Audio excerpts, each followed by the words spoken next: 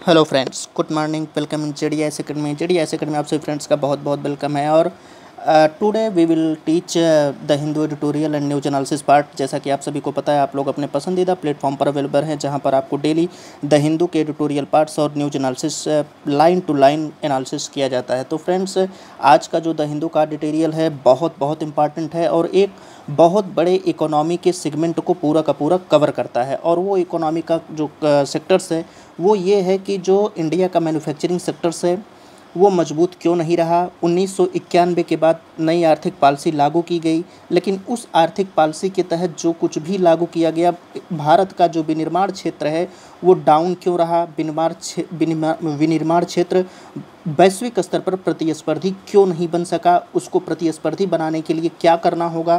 तमाम ऐसे क्वेश्चंस आपके आज पूरा का पूरा ये जो डाउट है क्लियर हो जाएगा और एक बहुत बड़ा इकोनॉमी का सेगमेंट से कवर हो जाएगा।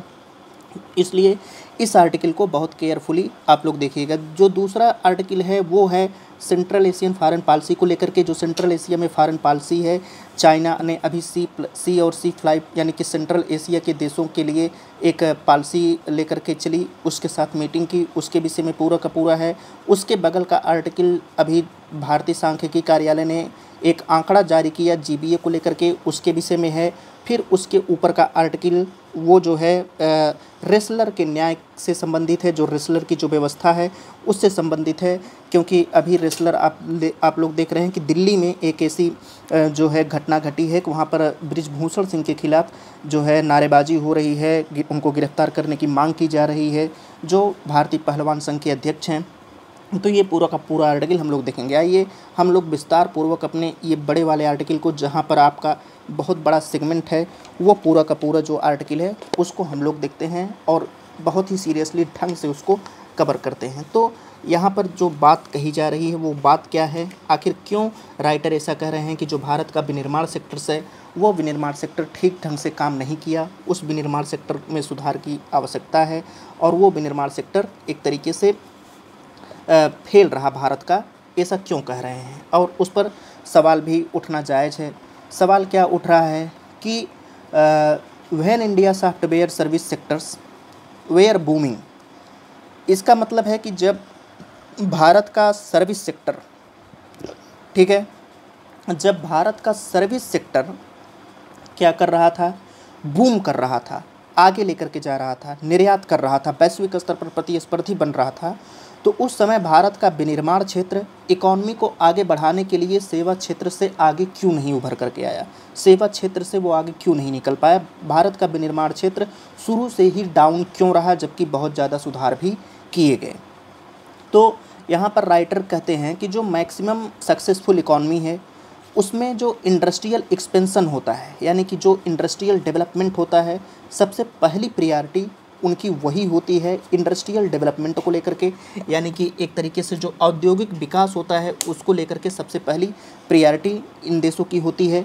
दूसरा, जो उन्नीस सौ इक्यानवे में न्यू इकोनॉमिक पॉलिसी आई नई आर्थिक नीति जो लिबर उदारीकरण और औद्योगिकीकरण, ये जो उन्नीस सौ इक्यानवे की पॉलिसी निकल करके भारत सरकार लेकर के आई वो उसमें जो फोकस किया गया था, पूरा का पूरा मैन्युफैक्चरिंग सेक्टर पर ही फोकस किया गया था और मैन्युफैक्चरिंग सेक्टर को बढ़ाने के लिए भारत सरकार द्वारा टैरिफ को कम कर दिया गया लाइसेंस परमिट राज को ख़त्म करने की दिशा में प्रयास किए गए, वो कम कर दिया गया। लेकिन इसके बावजूद जो जीडीपी ग्रोथ होता है जीडीपी ग्रोथ जीडीपी ग्रोथ में मैन्युफैक्चरिंग सेक्टर का जो शेयर है इकॉनमी में, वो इम्परेटिव यानी कि सकारात्मक रूप से नहीं बढ़ पाया। उसका जो प्रभाव है जो इफ़ेक्ट है वो एक प्रभावशाली ढंग से ग्रोथ नहीं कर पाया।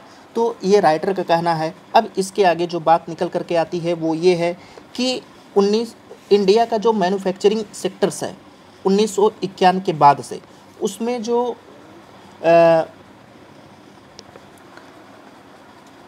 निर्मित उत्पादों की श्रेणी और गुणवत्ता दो के दोनों बढ़ी। यानी कि राइटर कह रहे हैं कि जो उन्नीस सौ इक्यानवे में सुधार किया गया था, उस सुधार के बाद भारत का जो विनिर्माण सेक्टर है, उसमें जो उत्पाद निर्मित होते हैं वो, और उत्पाद के अलावा जो उत्पादों की गुणवत्ता होती है, उसमें प्रभावशाली ढंग से वृद्धि देखी गई। लेकिन होता क्या है कि विनिर्माण का जो विस्तार होता है, वो बिना उत्पादित वस्तुओं की बढ़ती गुणवत्ता और विविधता के ये सब जो है आय की असमानता बढ़ने का संकेत देती है। कहने का मतलब ये है कि आप चाहे जितना प्रोडक्ट को गुणवान बना लें, बैरियस किस्म के प्रोडक्ट बना लें, जब तक आप पूरा होल विस्तार नहीं करेंगे। वही यहाँ पर कहा जा रहा है कि जो विनिर्माण सेक्टर्स है, जब तक आप उसका विस्तार नहीं करेंगे, विस्तार का मतलब पूरे जितना कंट्री है, वहाँ तक विस्तार, निर्यात स्तर पर विस्तार एक विस्तारशाली इकोनॉमी की बात यहाँ पर की जा रही है, जो व्यापक, यानी कि स्प्रिट तरीके से मैन्युफैक्चर को आपको विस्तार करना होगा और उसके बिना, यानी कि बगैर विस्तार के आप चाहे प्रोडक्ट की गुणवत्ता बढ़ा लें, चाहे उसकी विविधता बढ़ा लें, यह सब केवल और केवल जो इनकम होता है, आय की बढ़ती असमानता को संकेत देता है। यानी कि आय तो बढ़ रही है, लेकिन असमान ढंग से बढ़ रही है। क्यों ऐसा कहा जा रहा है? क्योंकि जो कंपनियाँ प्रोडक्ट को लाती हैं कोई भी कंपनी प्रोडक्ट को लेकर के आई और उसने एक निश्चित दिशा में काम किया और वो एक निश्चित लोकेशन पर है। तो उससे संबंधित लोगों की आय बढ़ गई, उससे रिलेटेड लोगों की आय बढ़ गई, लेकिन बाकी लोगों की कम हो गई। यानी कि मैन्युफैक्चरिंग सेक्टर जो है, वो पूरी की पूरी जनता से जुड़ा हुआ नहीं है। मेन बात ये थी अगर मैन्युफैक्चरिंग सेक्टर को जब तक आप पूरी जनता से नहीं जोड़ोगे अपनी पूरी पॉपुलेशन के साथ कनेक्टिविटी नहीं बढ़ाओगे, तब तक ये जो आय की असमानता है, ये बढ़ती ही रहेगी और इसमें आप कोई भी सुधार प्रभावशाली ढंग से नहीं कर सकते हो। जो विनिर्माण सुधार हुआ, वो उन्नीस सौ इक्यानवे में न्यू इकोनॉमिक पॉलिसी हुआ था, पहली बात। दूसरी बात ये है कि उन्नीस सौ इक्यानवे के बाद से, सन 2014 में मेक इन इंडिया जो वर्तमान भारत के प्रधानमंत्री हैं, श्री नरेंद्र मोदी उनके द्वारा लेकर के आया गया। और मेक इन इंडिया में सबसे ज़्यादा जो ज़ोर डाला गया, एफडीआई पर जा डाला गया फॉरेन डायरेक्ट इन्वेस्टमेंट प्रत्यक्ष विदेशी निवेश, वो क्यों कहा गया? क्योंकि देखिए, यहाँ पर एक कॉन्सेप्ट होता है। कॉन्सेप्ट ये होता है कि जब इकोनॉमी में, अर्थव्यवस्था में घरेलू स्तर पर पूंजी की कमी होती है कैपिटल जो निर्माण होता है, यानी कि जीडीपी टू कैपिटल भारत का जो जीडीपी रेशियो है कैपिटल में जीडीपी से ही कैपिटल निर्मित होता है, वो मिनिमम थर्टी फाइव के एबव है तो बहुत ही कम है। तो इस तरीके से जो कैपिटल क्योंकि अगर आपके पास कैपिटल है तो आप इन्वेस्टमेंट की दिशा में जाओगे इन्वेस्टमेंट करोगे तो हर सेक्टर ग्रो करेगा।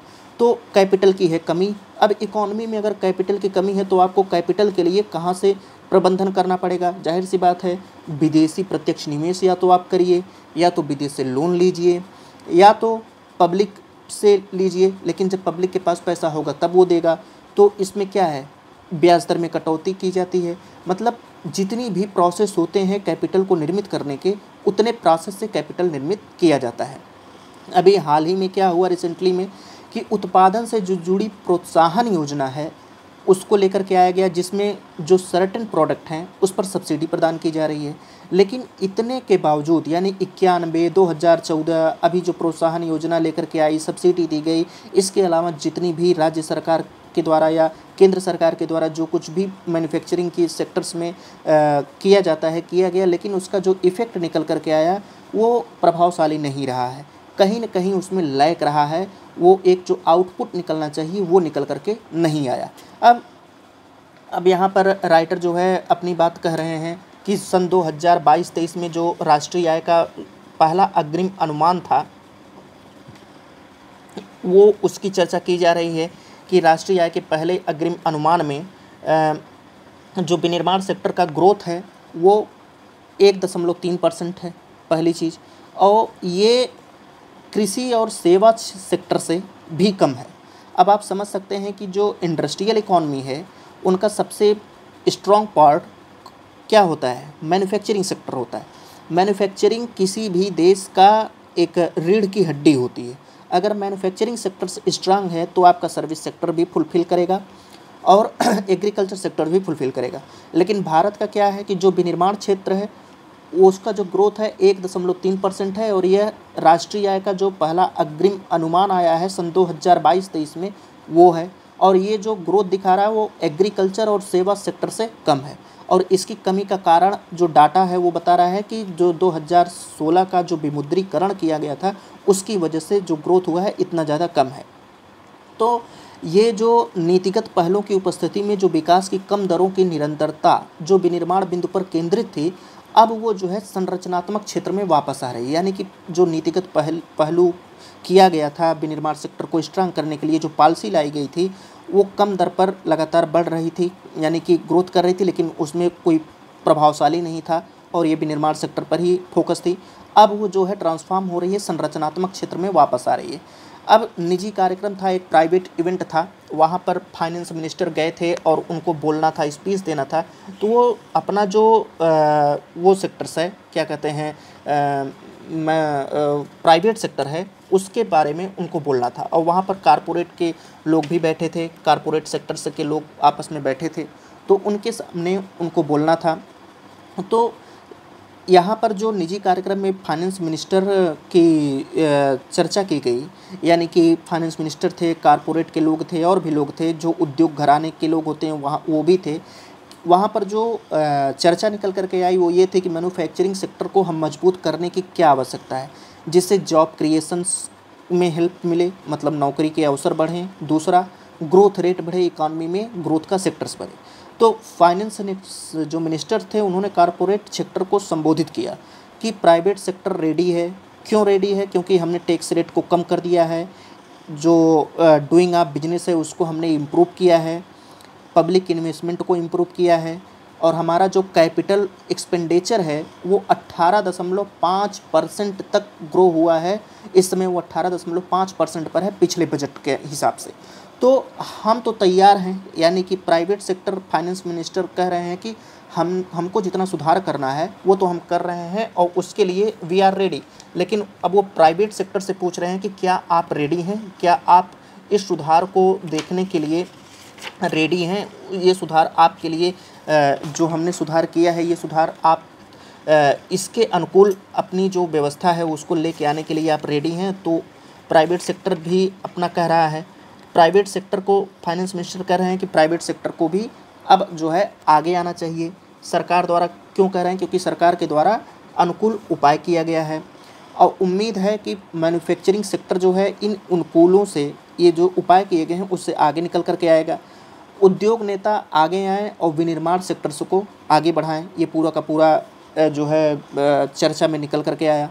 अब हो क्या रहा है कि जो विचार किया जाना है डिमांड सेक्टर पर विचार किया जाना है, मांग को लेकर के विचार किया जाना क्योंकि इकोनॉमी जो चलती है सप्लाई एंड डिमांड से चलती है। और सप्लाई पक्ष क्या होता है, मांग से पूरी तरीके से निर्भर भी रहता है, स्वतंत्र भी रहता है। और सप्लाई पक्ष पर सरकार के द्वारा कार्रवाई की गई है। क्यों की गई है? क्योंकि टैक्स रेट को कम कर दिया गया कारपोरेट जो दर थी उसको घटा दिया गया।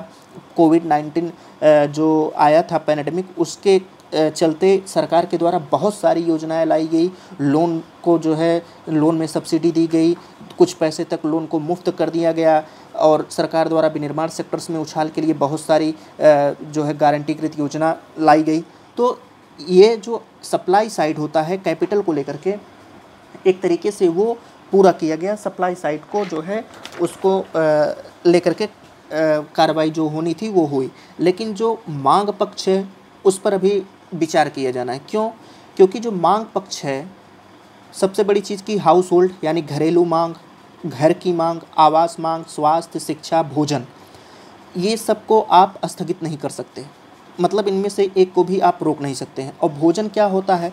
भोजन जो है, मांग पक्ष की वृद्धि को रोकता है। अब यहाँ पर थोड़ा सा आपको कन्फ्यूज़न होगा, लेकिन वो कन्फ्यूज़न मैं दूर कर दे रहा हूँ, क्योंकि मांग पक्ष पे यहाँ पर राइटर कह रहे हैं कि मांग पक्ष की वृद्धि, मांग पक्ष जो है यह इकोनॉमी को ग्रोथ को रोकता है। वो एक स्पेक्टल मतलब कि एक पर्टिकुलरी कह रहे हैं, एक सेक्टर पर कह रहे हैं। क्योंकि जो भारत की जनसंख्या है, वो बहुत ज़्यादा है, और भारत की जीडीपी बहुत कम है। जो प्रति व्यक्ति आय है, वो और भी कम है। तो जो भारत में भोजन पर क्या होता है बहुत बड़ा हिस्सा खर्च किया जाता है।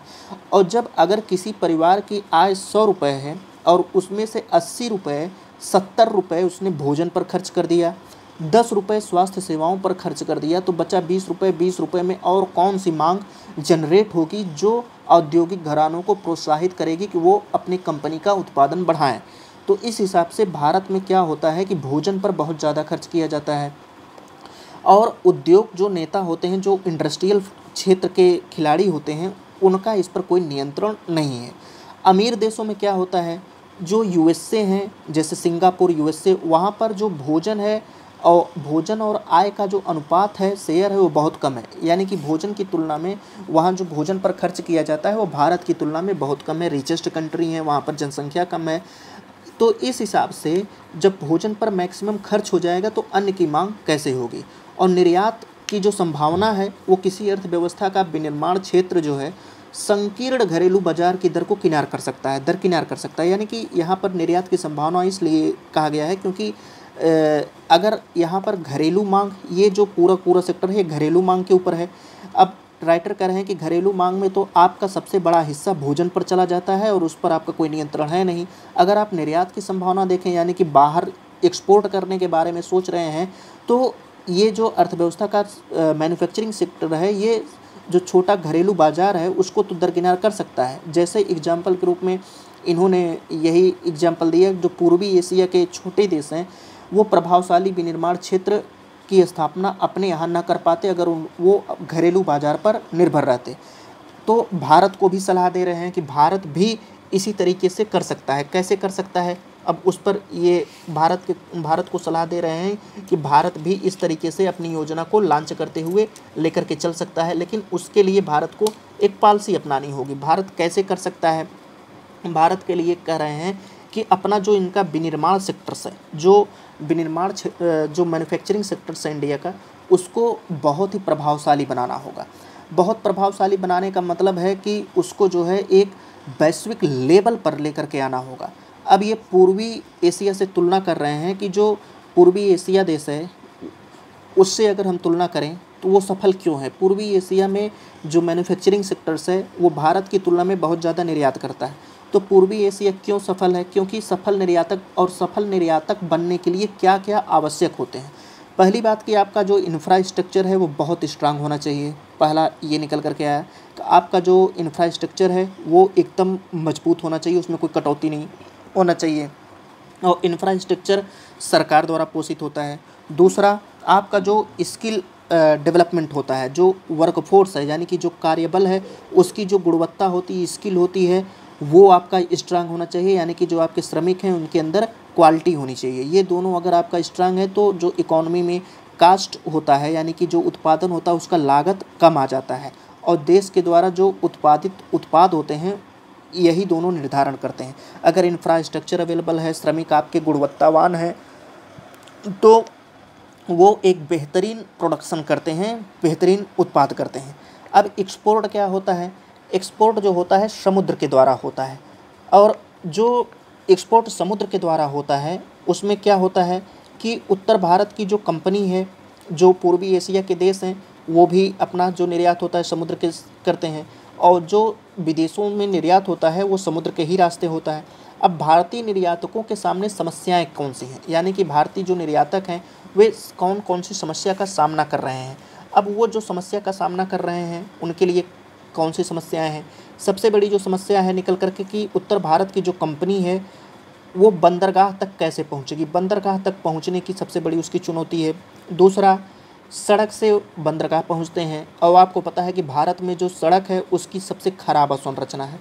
उसकी प्रथा इतनी खराब है कि जिसकी, जिस पर हम कुछ कह नहीं सकते हैं। सिंगापुर में होता क्या है कि भारतीय जो बंदरगाहों पर जहाज़ लगते हैं, उसको बदलने के लिए बहुत अधिक टाइम की ज़रूरत होती है। दूसरा, अभी एक हाल ही में केरल के व्यापारी का बयान आया था कि उनको जो है राज्य के बाहर जो बंदरगाह हैं, वो यूज़ करने के लिए कहा जाता है। तो इस तरीके से ये सब भारतीय जो निर्यातक होते हैं ये उनके लिए चुनौती बन जाती है कि वो कैसे अपने व्यापार को लेकर के चलें कैसे एक अच्छी फैसिलिटी पाएँ। तो ये सब एक चुनौती बन कर के आती है भारतीय निर्यातकों के सामने और वो जो है भारतीय निर्यातक इस तरीके से एक, एक सफल एक्सपोर्ट नहीं बन पाते एक्सपोर्टर्स नहीं बन पाते। अब यहाँ पर जो निर्यात के लिए बहुत मायने रखती है, वो है कि परिवहन एक बड़ा कारक होता है। आपको पता है, निर्यात अगर आपको करना है तो आपके पास परिवहन होना चाहिए, सस्ती बिजली होना चाहिए। जो अंतरिक्ष सेवाएँ, अंतरिक्ष सेवाओं का मतलब कि जो जीपीएस वगैरह होते हैं, ट्रैकिंग की क्षमता, वो होनी चाहिए। इसके अलावा जो अपशिष्ट बनते हैं, यानी कि जो प्रोडक्ट के, जो प्रोडक्ट ख़राब हो जाते हैं, उसके निपटान की जो सेवाएँ होती हैं, वो आपका बहुत ही स्ट्रांग होना चाहिए। यानी कि केवल और केवल परिवहन के अलावा ये सब भी बिजली, अपशिष्ट सेवा, अंतरिक्ष सेवा, ये सब भी निर्यात में बहुत बड़ा मायने रखती है। अब इसके अलावा भारत में जो शिक्षा है, उस पर ये बात कर रहे हैं कि जो भारत में शिक्षा का परिणाम है, वो इंडस्ट्रियल देशों से अपनी तुलना कर रहे हैं कि भारत में शिक्षा का जो परिणाम है, वो उसकी थोड़ा सा ये तुलना कर रहे हैं कि शिक्षा के क्षेत्र में जो भारत है, वो बहुत पीछे है, खास करके इंडस्ट्रियल कंट्री से। और दूसरा ये सफल विनिर्माण देशों से एजुकेशन के सेक्टर्स में बहुत पीछे चला गया है। और अभी रैंक निकाली गई programme for international student assessment reveals ये एक संस्था है जो पचहत्तर देशों की रैंकिंग निकालती है। ये ईस्ट एशिया उसमें शीर्ष पर आया इंडिया बहुत मुश्किल से अंतिम स्थान पर आया। तो अगर विदेशी स्रोतों पर राइटर कर रहे हैं कि अगर इस स्रोत पर भरोसा नहीं है तो आप अपना स्वयं का जो एनजीओ प्रथम है, वहाँ पर आप देख सकते हैं। जो उसकी रिपोर्ट है, वो रिपोर्ट क्या कहती है? जो प्रारंभिक वर्षों में जो भारतीय बच्चों के पढ़ने की क्षमता है और संख्या में वो बहुत ही कम है। स्कूली बच्चों के लिए जो ये टेस्ट लेता है कि बच्चे पढ़ पा रहे हैं, नहीं पढ़ पा रहे हैं, कैसी एजुकेशन है, वो बहुत ही कम है। और अगर इंडियन यूनिवर्सिटी के विषय में देखें, यानी कि इंडियन यूनिवर्सिटी के बारे में अगर बात करें तो इंडियन यूनिवर्सिटी में इस तरीके से कोई भी टेस्ट ही नहीं होता कि इस तरीके से उनको टेस्ट लेकर के आंका जाए, उनकी उनकी जो क्षमता है उसको आंका जाए, क्या, कैसे वो कर सकते हैं, क्या, कैसे नहीं कर सकते हैं। तो इन इंडियन यूनिवर्सिटी में ग्रेजुएट स्तर पर इस तरीके की कोई क्षमता ही नहीं है। और इंडियन जो यूनिवर्सिटी है, उसमें रोज़गार क्षमता की कमी है, ये सबको पता है। भारतीय प्रौद्योगिकी तक इसका विस्तार हो चुका है कि जो इंडियन प्रौद्योगिकी, इंडियन टेक्नोलॉजिकल इंस्टीट्यूट होते हैं, उस, वो अब रोज़गार के लिए इस स्तर पर नहीं टीचिंग सर्विसेज़ प्रोवाइड करा पा रहे हैं कि वो रोज़गार उन्मुख हो। इसकी जो स्थापना हुई है, ऐसा लगता है राइटर कह रहे हैं कि ये मध्यम वर्ग की आकांक्षाओं को पूरा करने के लिए हुआ है, जो शारीरिक श्रम से बचना चाहते हैं। तो ये तो इंडियन यूनिवर्सिटी के बारे में है। अब इंडियन इकोनॉमी पॉलिसी क्या काम की कि जो इंडियन इकोनॉमी पॉलिसी उन्नीस सौ इक्यानवे में आई थी, वो तो मैन्युफैक्चरिंग सेक्टर से लेकर के आई थी, लेकिन भारत में क्या है कि हर समय जो भी पॉलिसी बनती है, उसमें दो चीज़ों को निगलेक्ट कर दिया जाता है। एक एजुकेशन सेक्टर्स एजुकेशन सेक्टर्स को हर जगह एक अलग उसके लिए संस्थान बनाई गई है, उसमें होता जाता कुछ नहीं है। दो चार छः दस साल बीतता है तो एक रिपोर्ट आ जाती है और जब रिपोर्ट आती है तो हो हल्ला मचता है और इस रिपोर्ट को लागू कर दिया था, कर दिया जाता है। बाकी सारी की सारी व्यवस्था वैसे ही चलती रहती है। तो राइटर कह रहे हैं कि इंडियन इकोनॉमी की पॉलिसी में इन सब की उपेक्षा की गई।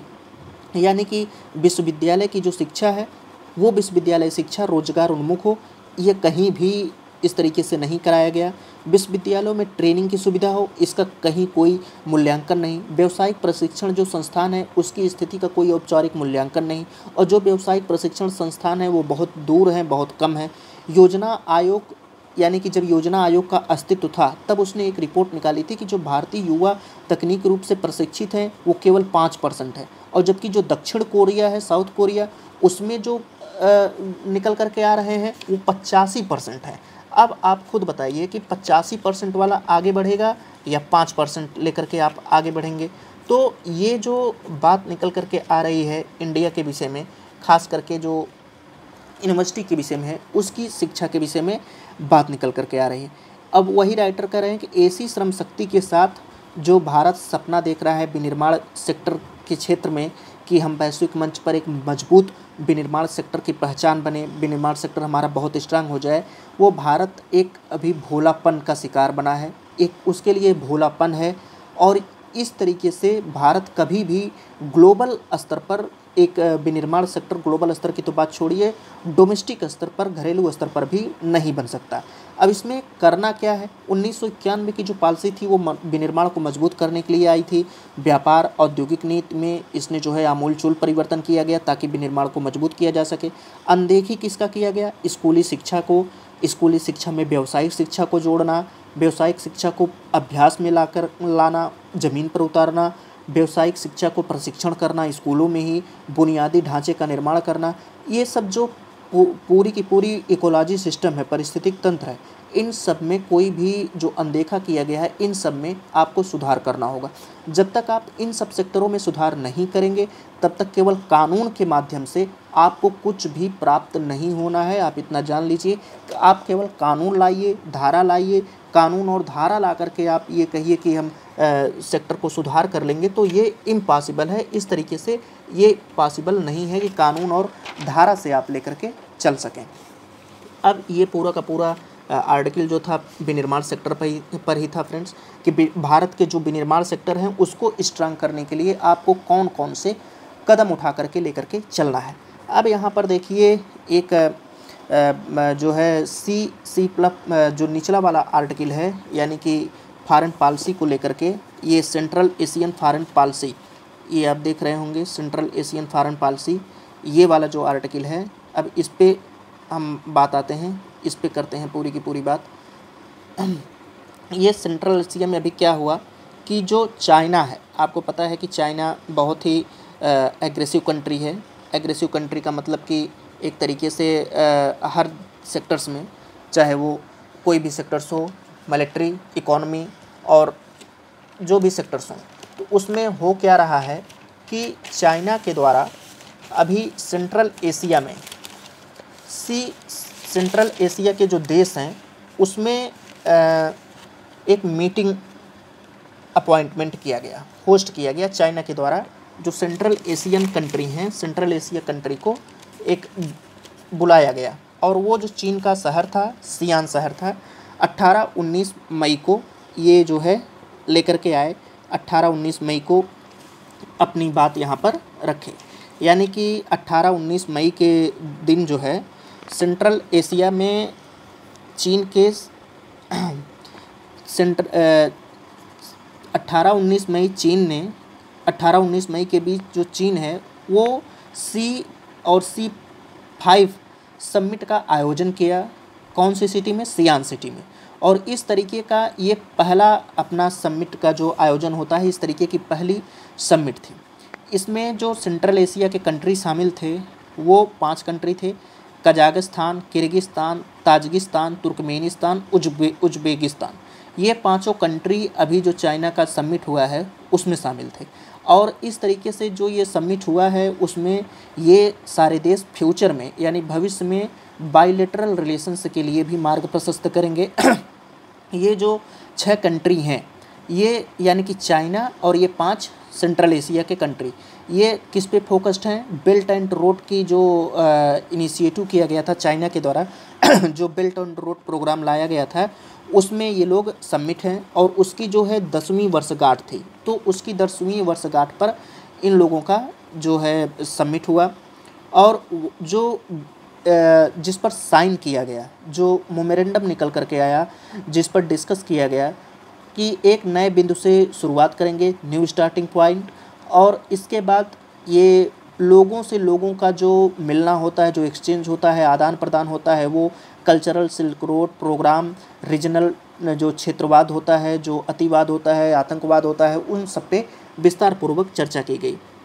तथ्य यह था कि जो यह आयोजन किया गया था, चाइना सेंट्रल एशिया समिट, ये फ्यूचर में बाई बाइनियल समिट दोनों देशों के बीच हो सकता है, और अगला जो समिट होगा, कजाकिस्तान में 2025 में होगा।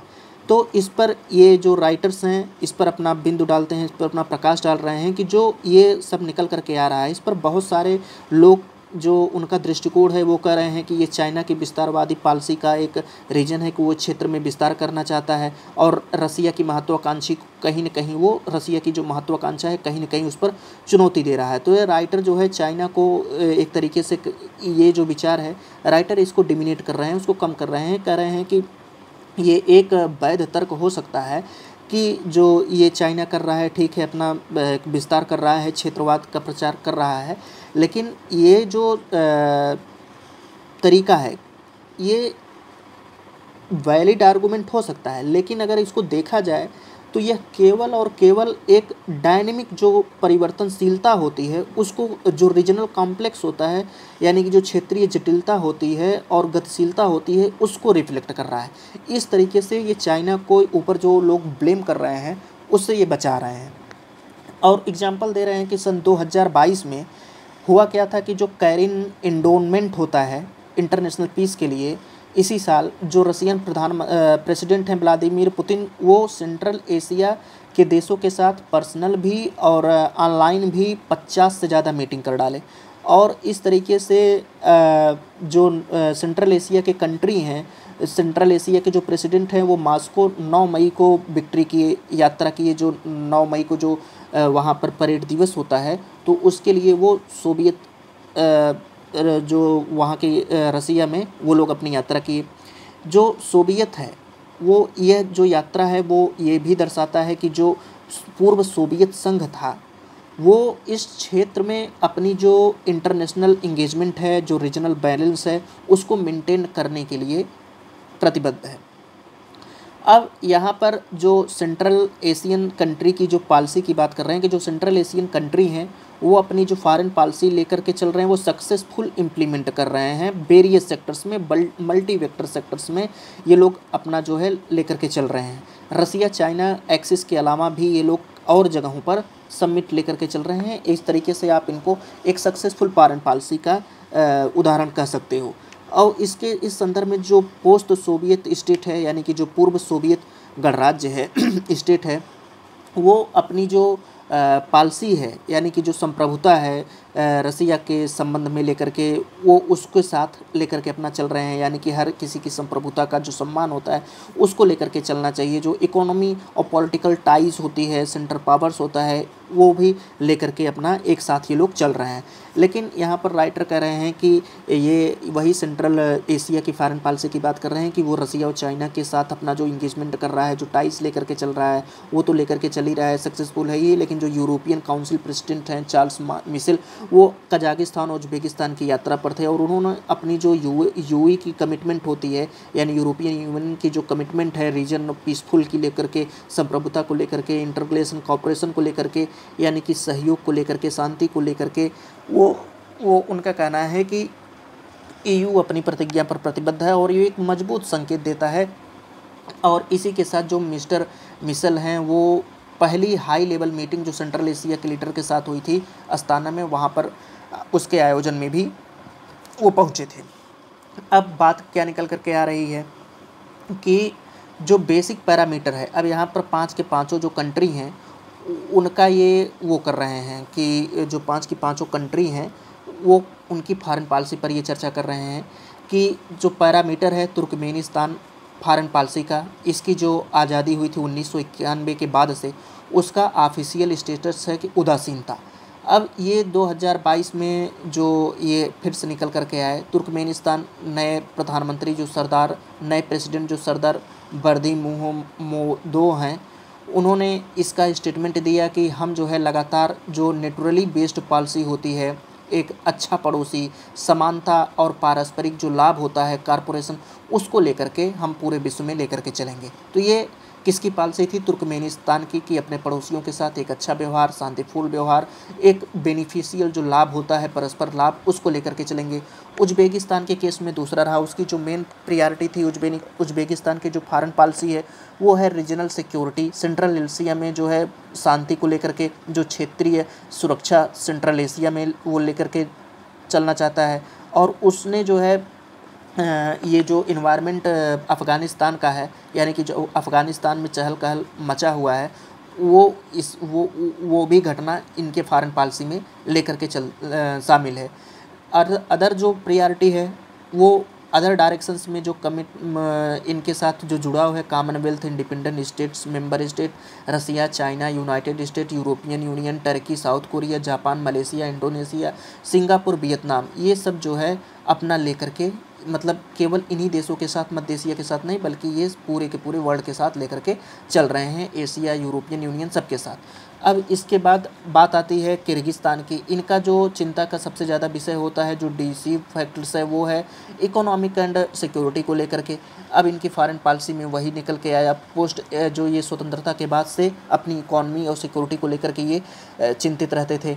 तो इनका जो 2000 इलेक्शन 2021 में इनका इलेक्शन हुआ। और ये सैदर जफराव जो प्रेसिडेंट हैं यहाँ के किर्गिस्तान के, ये अपनी जो पहली ऑफिशियल विज़िट थी वो रसिया में लेकर के गए इन न्यू क्रिकेट और इसके बाद ये जो है रसिया से अपना सिक्योरिटी पार्टनर, ऐसा जो वहाँ पर रसिया के साथ, जो इंगेजमेंट इनका हुआ, वो सिक्योरिटी के मुद्दे पर हुआ। ऐसा लगा कि जैसे रसिया जो है, अभी भी जो बिस्केक की खाड़ी होती है, जो बिस्केक है, वहाँ पर रसिया अपना जो सुरक्षा का इशू है, वो उसको बनाए रखा है और वो एक कलेक्टिव सिक्योरिटी ट्रीटी यानी सी एस टी यू का आयोजन कर रहा है, जहाँ पर जो उसकी जो कांत मिलिट्री एयरबेस है, वहाँ पर अपना जो सुरक्षा ट्रीटी है, उसको बनाए रखा है और सेना को भी वो बनाए रखा है।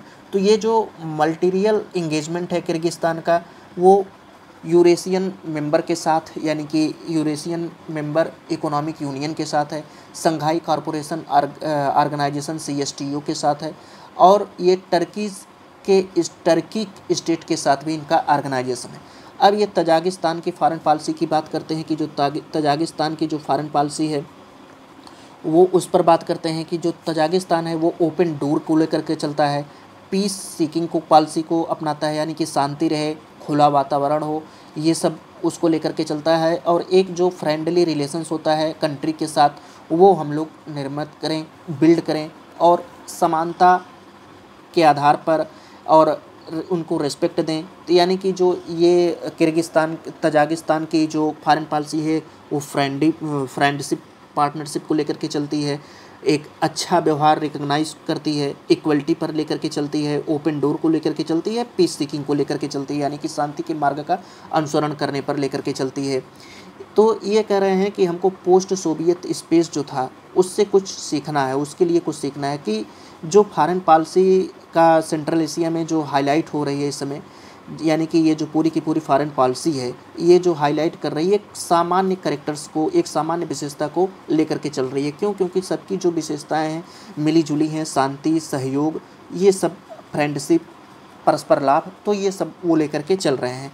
और सेंट्रली जो है क्या कि जो अप्रोच है वो जो रसिया के साथ जो इनका अप्रो है मल्टी वेक्टर यानी कि एक तरीके से आप कह सकते हो कि जो बेनिफिट है, उसको फ्रेंडली मेंटेन करने के लिए, समझौता करने के लिए, ये मल्टी प्लेयर मल्टीपल प्लेयर के साथ ये लोग लेकर के चल रहे हैं, रसिया को शामिल करते हुए।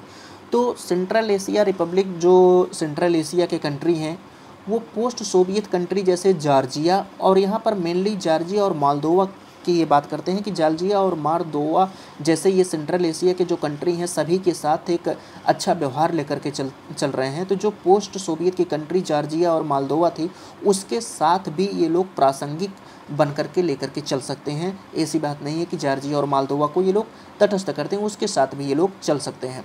और ये जो इन जो सेंट्रल एशिया के जो कंट्री हैं इनकी जो लंबी आकांक्षा थी नॉर्थ अटलांटिक यानी नाटो में सम्मिलित होने की वो रसिया के साथ जो इनका विस्तार है रसिया के साथ जो इनका एंगेजमेंट है उसकी कीमत पर इनको ऐसा शामिल नहीं करना चाहिए। यानी कि एक आ, कुछ भी हो इनका जो मेंबरशिप है वो इस तरीके से नहीं करना चाहिए। और अगर आप ये लोग नाटो में शामिल हो जाते हैं अगर बाई द वे नाटो में शामिल हो गए और जो अपरंपरागत युद्ध छिड़ गया तो जो सुरक्षा की गारंटी है, वो संभावना उसकी कुछ भी दिखाई नहीं देती। वो एक तरीके से उसकी सुरक्षा की कोई बात कही नहीं जा सकती। तो और उसको आगे रोकना, यानी कि जो युद्ध होगा, पर अपरंपरागत या जो कुछ भी होगा तो उसको आगे रोकना बहुत ही कठिन कार्य शामिल हो जाएगा। यहाँ पर जो 21 मई का दिन है 21 मई के दिन मालदो में दस हज़ार से ज़्यादा लोग जो कैपिटल उसकी राजधानी है न्यू वहाँ पर जो प्रो वेस्टर्न गवर्नमेंट है, उसकी जो पॉलिसी है, उसके उसको समर्थन में लेकर के आए। और जो मालदेव है, उसका कहना है कि हम यूरोपियन यूनियन को जो ज्वाइन करेंगे 2030 तक, उसको जो है हम ज्वाइन कर लेंगे। लेकिन जो वहाँ के प्रेसिडेंट हैं, माया संडो, वो ये कह रहे हैं कि हमारे पास जो अवसर है चांस है, हमारी जनता को कि वो शांति में रहे peace live in peace and prosperity तो इस तरीके से जो वेस्ट का विचार है, जो वहाँ पर वेस्ट के विचारों का समर्थन करने के लिए जो ये सब है, वो सब तो ठीक है कि ये जो सेंट्रल एशिया के कंट्री हैं यूरोपियन यूनियन नाटो इन सब में शामिल होंगे, वो तो ठीक है, लेकिन जो रसिया की स्थिति है रसिया की जो जोग्राफ़ी जोग्राफिकली स्थिति है भौगोलिक स्थिति है वो जहाँ पर है वो वहीं पर रहेगा जो हो रहा है वो हो, हो रहा है उससे उसका कोई भी लेना देना नहीं है। और जो जार्जिया और मालदो हैं वो कहीं न कहीं जो उसका जो मल्टी वेक्टर फॉरेन पॉलिसी है उसके जो विश्वास है उस पर जो एक रीडिंग होता है जो एक क्रिएडेबल तरीका होता है उस विश्वास में अपने जो अच्छे पड़ोसी के रूप में हैं, उसके जो कारण हैं, वो कम नहीं कर सकते। तो इस हिसाब से उन पर जो विश्वास है, वो कम नहीं किया जा सकता। एक प्रासंगिक तौर पर उनको लेकर के चलना होगा और जो पीसिंग पॉलिसी है, यानी कि जार जो जार्जिया और मालदेव को, उनके लिए सभी जो सेंट्रल एशिया के कंट्री हैं, विश्वास करते हुए आगे बढ़ें और इस तरीके की जो विचारधारा है, वो लेकर के आएँ। अदरवाइज़ ये जो विचारधारा है कि जो पूर्व सोवियत संघ के पहले की, कि हम उनके साथ नहीं लेकर के चल से, नहीं चल सकते, प्रासंगिक नहीं है।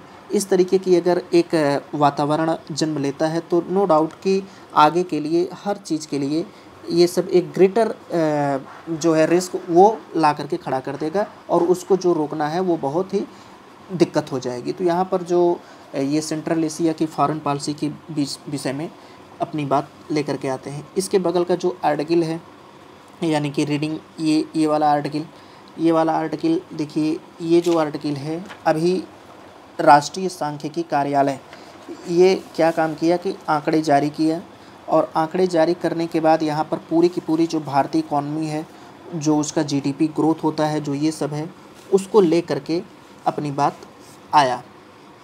अब इसमें क्या बात कही गई है?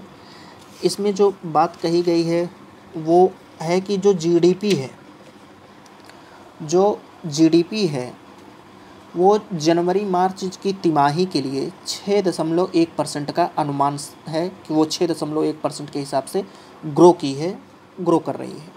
और ये जो अनुमान है, वो पूरे साल की जो अनुमानित जीडीपी है, उसको सात दशमलव दो परसेंट रहेगी, थोड़ा बहुत बढ़ाने में उसको हेल्प मिल सकती है। चौथी तिमाही के लिए जो जीवीए है, पिछले तीन महीनों से उसका जो विकास है, उस विकास में व्यापकता आधारित विकास की तरफ़ वो इशारा कर रहा है।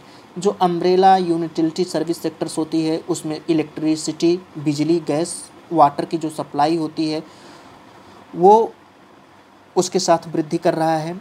और जो व्यापार की सर्वग्राही श्रेणी होती है, होटल ट्रांसपोर्ट कम्युनिकेशन ये सब भी बढ़ रहा है। और इसमें से आठ में से केवल दो सेक्टर्स की कमी हुई है, वो ग्रो नहीं किया है।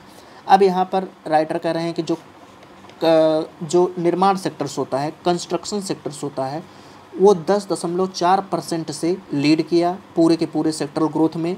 होटल और ट्रांसपोर्ट नौ दशमलव एक परसेंट ग्रोथ किया। जीबीए में ये दोनों जो सबसे बड़े क्षेत्र हैं, तेरह दशमलव एक परसेंट ग्रोथ हुई, क्योंकि जो कोविड नाइन्टीन की आशंका कम होने के कारण इसमें फिर से उछाल आया।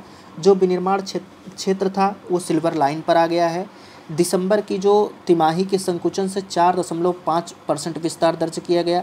तीसरे तिमाही में जो जी है, वो बीस दशमलव चार परसेंट की तरफ़ ग्रो हुआ, यानी कि बीस दशमलव चार परसेंट टोटल हुआ।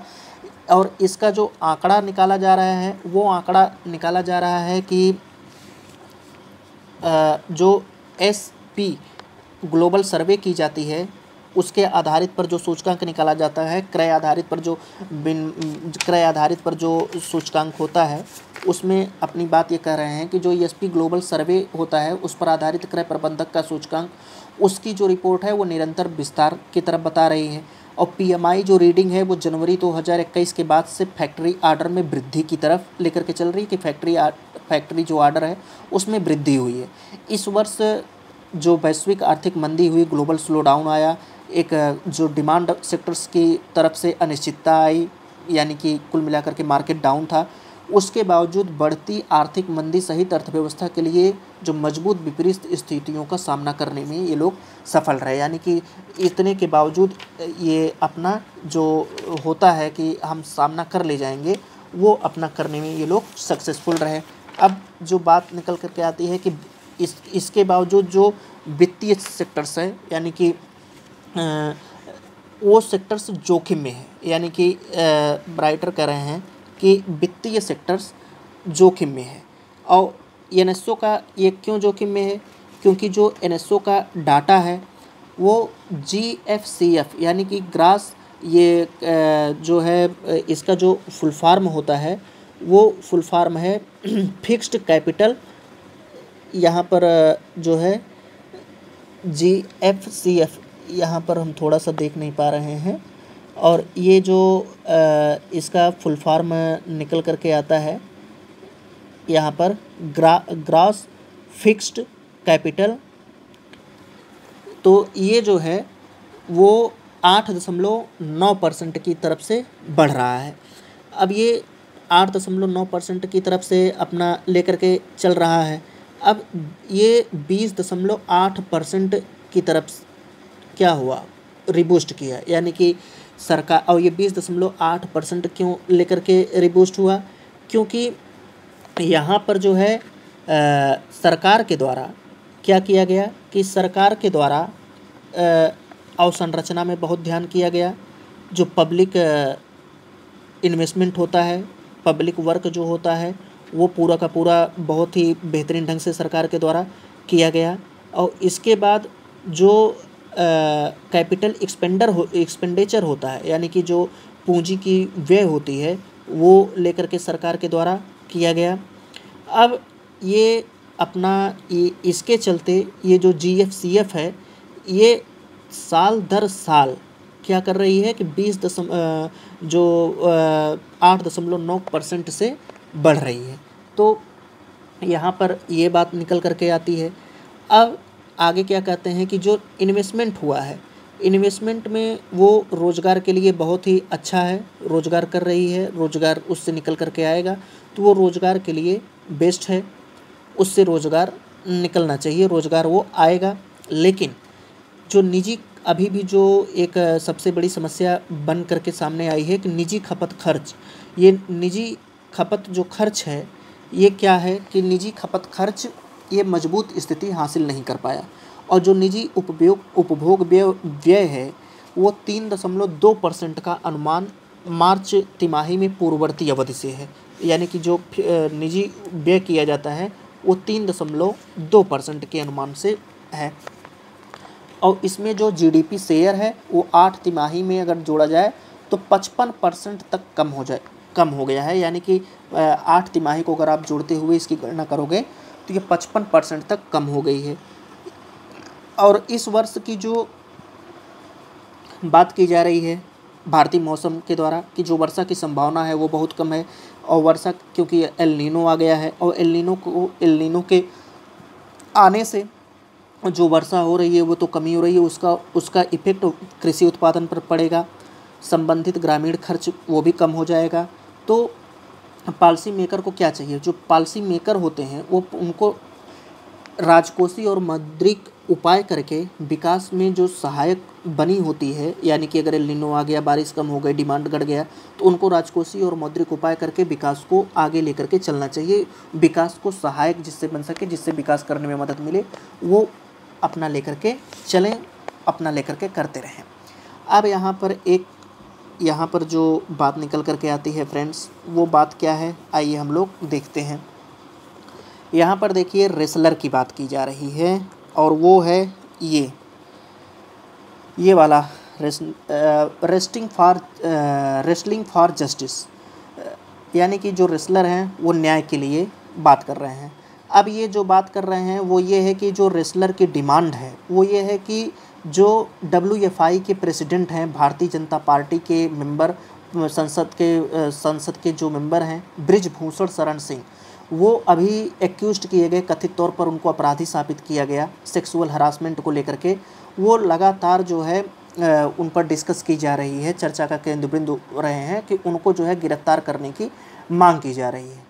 और ये जो है, जो टेक्निकली इन्वेस्टिग जो प्रोटेस्ट हो रहा है, ये protest is no longer about the technically of the investigation जो इन्वेस्टिगेशन का तरीका होता है, तकनीकी जो जाँच करने का टेक्निकली तरीका होता है, उसके बारे में जो आंदोलन है बहुत ज़्यादा लंबा नहीं है। लेकिन जो यहाँ पर इसमें कोई दो राय नहीं है कि कानून जो है अपना कार्य कर रहा है। तथ्य इस बात की है कि जो सांसद हैं रूलिंग पार्टी के उनको निंदा करने के बजाय वो बहुत ही आराम से बेहतरीन ढंग से रह रहे हैं और जो पो, उनको पोस्को के अंदर जो इंक्लूड किया गया है यानी कि एक सेक्सुअल हरासमेंट को लेकर के उनकी निंदा करनी चाहिए। इसके बावजूद वो एक जो उनकी पब्लिक लाइफ है वो सब बहुत ही बेस्ट है और जो ये आरोप उनके ऊपर लगे हैं इसके चलते उनको जो एडमिनिस्ट्रेशन से संघ के अध्यक्ष पद से उसमें कमी आनी चाहिए, लेकिन ऐसा कुछ भी हो नहीं रहा है। और जो पुलिस है, उसने पुलिस कह रही है कि हमने जो जाँच का तरीका होता है मिस्टर सिंह के खिलाफ, वो इन्वेस्टिगेशन कर रहे हैं और हमारी जो स्टेटस है, हम रिपोर्ट को जल्द ही कोर्ट में शामिल करेंगे। लेकिन तथ्य क्या है, कल तथ्य क्या है कि जो फोर्स है, पुलिस फोर्स है टू बी, जो यानी कि पुलिस ने अपनी जो सोशल मीडिया होती है उससे अपना जो तथ्य होता है कि जाँच को रोकने का, वो जो पोस्ट की थी ट्विटर पे, उसको लेकर के हटा दिया। यानी कि जो फेयरनेस तरीका होता है जाँच का, उस पर जो क्वेश्चन उठा रही थी, उसको भी हटा दिया गया। जो ये रेसलर्स होते हैं, उसमें जो शामिल हैं इंटरनेशनल मेडल्स विनर्स भी शामिल हैं, ये अभी हैदराबाद में गंगा घाट पर अपना मेडल जो है प्रवाहित करने के लिए गए थे। हालाँकि बैक मोमेंट में वापस भी आ गए, लेकिन ये जस्टिस के लिए कहीं ना कहीं एक तरीके से मांग की जा रही है उनके द्वारा। और फिर ये जो प्रोटेस्ट की जा रही है, ये ये रेसलर के द्वारा, इसमें सिविलियन सपोर्ट भी मिल रहा है इंटरनेशनल स्पोर्ट भी मिल रहा है, International Olympic Committee, United World Wrestler, ये लोग भी इसको सपोर्ट कर रहे हैं और पुलिस के द्वारा जो अभी पार्लियामेंट का इनोग्रेशन हो रहा था और पुलिस द्वारा रेसलर्स को पीटा गया था, उसकी निंदा की गई। इसके बाद उत्तर प्रदेश और हरियाणा के जो जाट किसान हैं, वो भी इस रेसलर के सपोर्ट में शामिल हो गए हैं। तो इस दौरान जो मिस्टर सिंह हैं, उनको जो है रूलिंग पार्टी से निंदा का सामना करना चाहिए था, लेकिन जो वो अपना जो नेतृत्व उनके जो संरक्षक हैं, उनके अंदर में वो इन्जॉय कर रहे हैं। और इसके बाद ये यूपी के जो कैसरगंज इलाके से जो प्रोटेस्ट होता है, उस पर यूपी के कैसरगंज इलाके से एक शक्तिशाली सांसद हैं। वो जो है रेसलर पर आरोप लगा रहे हैं, उनके जो आंदोलन कर रहे हैं, उनको एक सपोर्टर बता रहे हैं। और एक बार जो है कथित तौर पर टाडा केस में मिस्टर सिंह जो है वो शामिल किए गए थे और तब से बीजेपी में जो इनका कदबा है, जो इनका मूल्य है, वो भी बढ़ गया। और इस तरीके से जो इनका प्रोसेस है इन्वेस्टिगेशन करने का, ये अब राइटर यहाँ पर कह रहे हैं कि there can be no case no case यानी कि कहने का मतलब जो दंड देने का तरीका है, उसको पनिश करने का तरीका है, ये पूरी तरीके से जाँच के आधार पर होनी चाहिए। अगर कोई भी पर्सन हो, अगर जाँच में वो दोषी पाया जाता है तो निश्चित तौर पर उसको दंडित किया जाना चाहिए। और मिस्टर सिंह के खिलाफ़ जो आरोप लगाए गए हैं, वो सीरियसली भी हैं। तो अब देखिए, आगे क्या निकल करके आता है? क्रिमिनल इन्वेस्टिगेशन होता है या नहीं होता? यानी कि कैसे कैसे जो है एक निष्पक्ष तरीके से जाँच की जानी चाहिए केस की, और निष्पक्ष तरीके से अगर केस की जाँच की जाती है तो अगर उसमें कुछ निकल करके आता है कि यानी कि कथित तौर पर अपराधी हैं या दोषी पाए जाते हैं तो निश्चित तौर पर दंडित किया जाना चाहिए और इस तरीके से होना भी चाहिए। यानी कि कोई भी पर्सन हो, चाहे कितना भी बड़ा ना हो, अगर वो कानून तोड़ता है या उल्लंघन करता है तो उसको दंडित किया जाना ही चाहिए। तभी एक जा कर के एक, हम अच्छा मैसेज दे सकते हैं।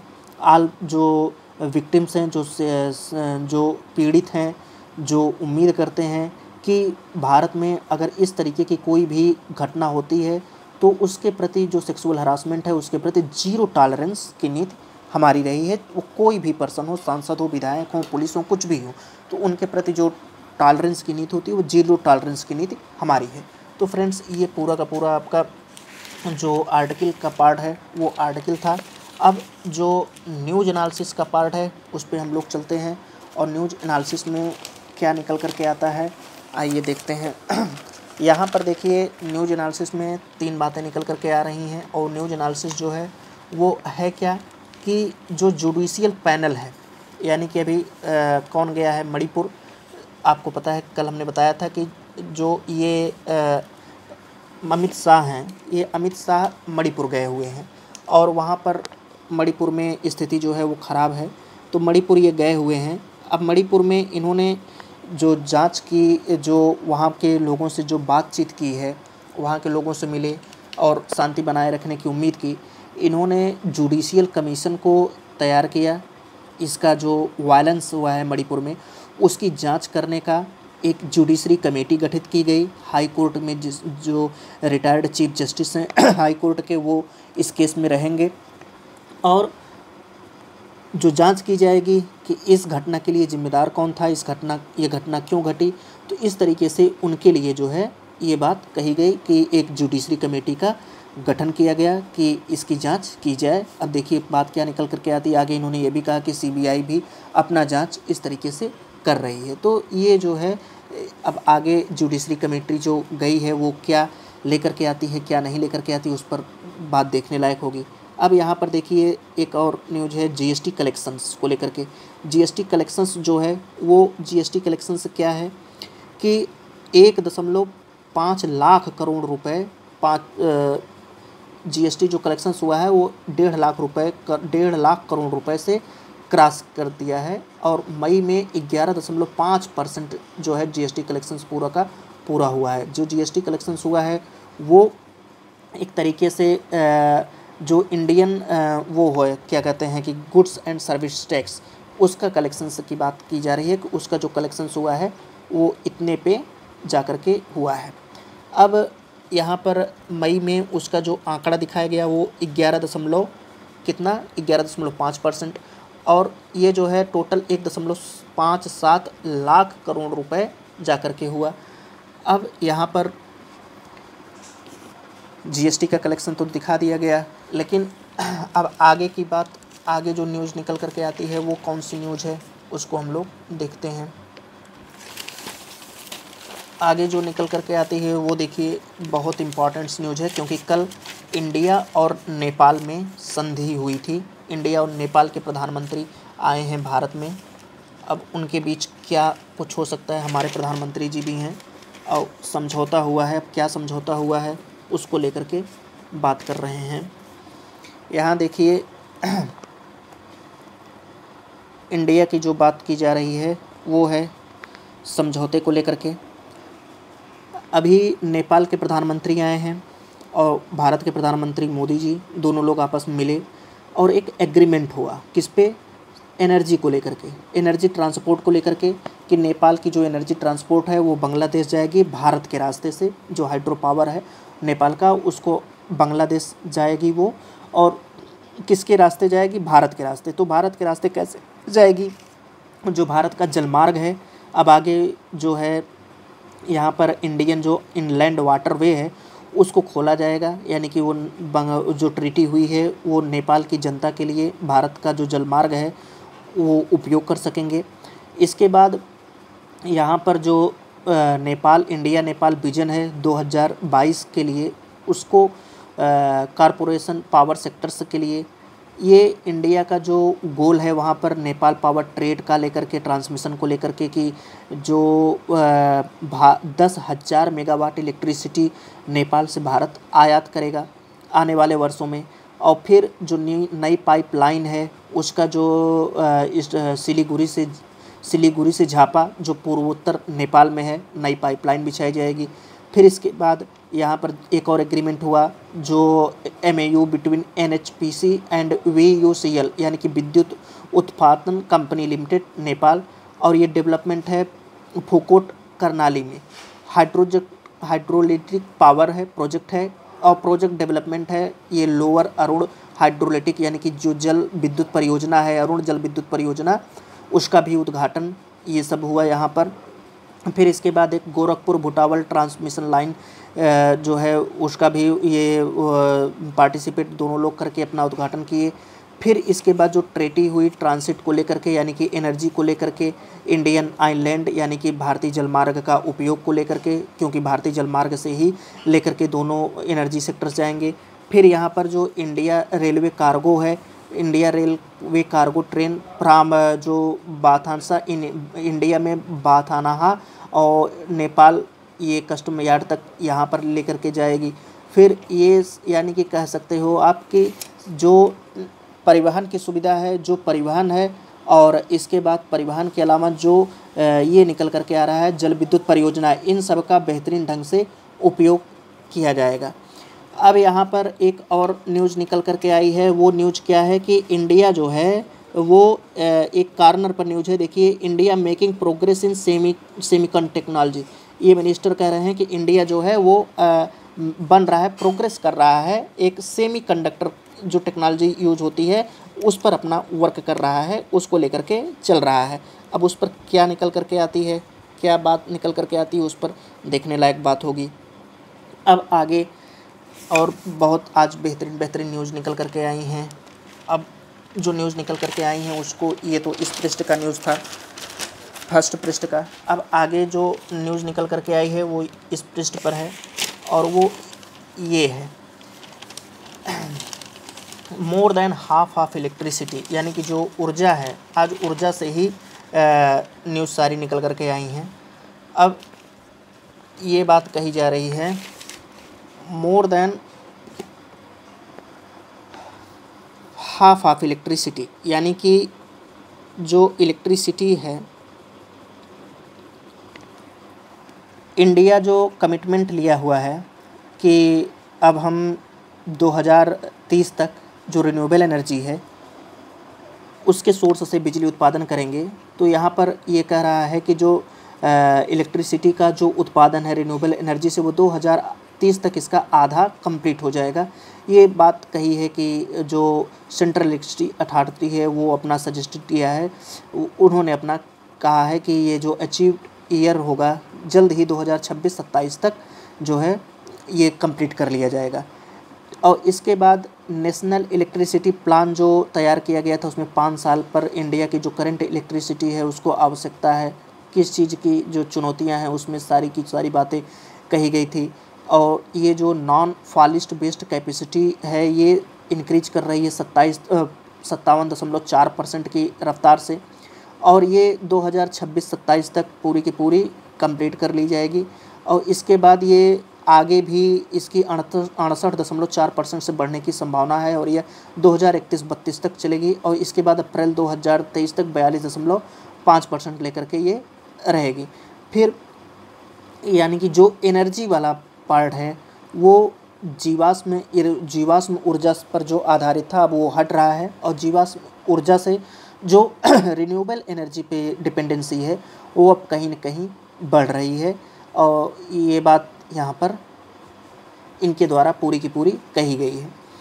अब यहाँ पर आ, केंद्र सरकार देखिए यहाँ पर एक ऐप लेकर के आए हैं मोबाइल ऐप है लोन रिक्वेस्ट के लिए पीएम स्वनिधि स्कीम के तहत भारत सरकार ने लॉन्च किया एक स्ट्रीट वेंडर्स के लिए जो सरलतापूर्वक लोन आ, मिल सके पीएम स्वनिधि स्कीम ये माइक्रो क्रेडिट स्कीम 2020 में लॉन्च की गई थी। आ, जो पैराडमिक स्ट्रेस आया था यानी कोविड आया था उससे उभरने के लिए। और इसकी जो सुविधाएँ हैं जो वर्किंग कैपिटल होता है वो दस हज़ार रुपये तक फ्री लोन है। इसके बाद बीस हज़ार और पचास हज़ार रुपये पर सात परसेंट। यहाँ पर इंटरेस्ट सब्सिडी दी जाती है। ये बात इन्होंने कही और अभी तक यूनियन हाउसिंग जो अर्बन अफेयर्स मिनिस्टर्स हैं, उन्होंने कहा कि तीस मई तक अड़तालीस दशमलव पाँच लाख लोन अप्लीकेशंस इनको मिल चुका है। अब यहाँ पर एन सी आर टी जो है, कक्षा दस की जो साइंस की बुक है, वहाँ से पीरियाडिक टेबल हटाने की बात कर रही है। पीरियाडिक टेबल उसको हटा देगी। अब इसी पृष्ठ पे और भी बहुत सारी न्यूज़ें हैं। वो न्यूज़ क्या है, उसको हम लोग देखते हैं। ये देखिए, यहाँ पर जयशंकर हैं, विदेश मंत्री जयशंकर। अभी जो ब्रिक्स का समिट हो रहा था, उसमें ये रसियन मंत्री से मिले और रसिया के साथ जो संबंध होता है, उस पर इन्होंने बात की पूरी की पूरी और आगे भी उसके संबंधों में, यानी कि मिलने की बात की जी ट्वेंटी की बात की या एस की बात की, कि भारत जो है, इस पर अपना जो रसिया से संबंध है, वो मजबूती से आगे बढ़ा रहा है उस पर किसी को डाउट नहीं होना चाहिए, हम लोग अच्छे से रह रहे हैं, ठीक है भाई रखिए ये जो इंडिया चाइना एलएसी पर अपना बात एल के मुद्दे पर जो चाइना का तस्वीर है, जो चाइना एलएसी को लेकर के उलझाया रहता है भारत को, उस पर बात की जा रही है कि जो न्यू दिल्ली में इस तरीके की बात की गई पहली बार, यानी कि सत्ताईसवीं मीटिंग भी हुई, लेकिन जो बात निकल कर के आना चाहिए, वो निकल कर के नहीं आई, यानी कि कोई समाधान इसका नहीं निकल सका। अब आगे के लिए क्या होता है, देखते हैं। Medium range ballistic missile Agni first है। अभी कल जो है उड़ीसा में उसका टेस्ट किया गया सफलतापूर्वक। N R C N H R C है। यहाँ पर रेलवे कर्मचारी की डेथ हो गई थी झारखंड में, उसको नोटिस दी है। तो फ्रेंड्स, ये पूरा का पूरा आप लोगों के लिए न्यूज़ एनालिसिस पार्ट ख़त्म हुआ। न्यूज़ एनालिसिस हुआ और एडिटोरियल एनालिसिस पहले भी हो चुका है। तो आई होप आप लोगों को पूरा का पूरा मैटर समझ में आ गया होगा। आप लोग जितना हो सके उतना लाइक शेयर सब्सक्राइब करना ना भूलिएगा। हम लोग मिलते हैं कल के लेक्चर्स में। तब तक के लिए ए लॉट ऑफ़ थैंक्स जय हिंद, जय भारत।